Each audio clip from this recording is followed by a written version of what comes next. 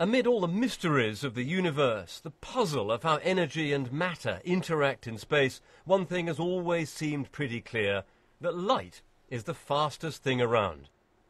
Well, every so often, science gets a very big shock. In an underground laboratory in Italy, researchers can't quite believe what they're seeing. They've recorded tiny particles fired from another lab 400 miles away, arriving sooner than expected. Sooner, in fact, than a beam of light would have done. What's so extraordinary about these findings is that they seem to challenge the foundation of our understanding of how the universe works.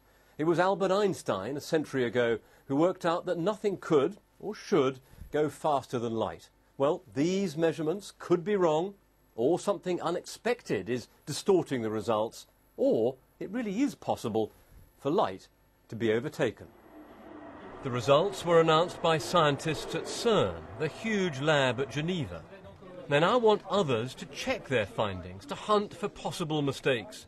But everyone's also wondering if something that seems totally impossible may actually be what's happening. If this result is true, it would mean that we'd have to fundamentally rethink the way that the universe works. Because if you have things that can travel faster than the speed of light, it's not just space that's affected, it's time that's affected too. So things start to travel backwards in time, and all sorts of weird and wonderful effects can come out of that. So did Einstein get it wrong? His famous theory explained the connection between energy and mass, the bedrock of modern physics. But it all depends on light travelling at the highest speed possible in the universe. That may still prove to be right, but today no one can be sure. David Shukman, BBC News.